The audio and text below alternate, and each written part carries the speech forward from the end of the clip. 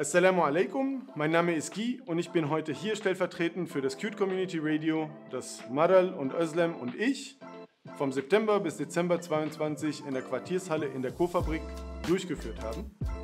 Das Cute Community Radio fing an als Idee bzw. als Frage, in der wir Menschen, die im Alltag äh, migrantisiert werden oder marginalisiert werden, uns gefragt haben, welche Räume braucht es, in unserem unmittelbaren äh, Lebensraum, um sichtbar zu werden, hörbar zu werden, um eine gemeinsame Praxis zu entwickeln. Und deshalb haben wir das Cute Community Radio gestartet und freuen uns auf die Fortführung im neuen Cute Community Space. Deshalb kommt uns ganz, ganz gerne, ganz, ganz, ganz bald besuchen in der Herner Straße 9.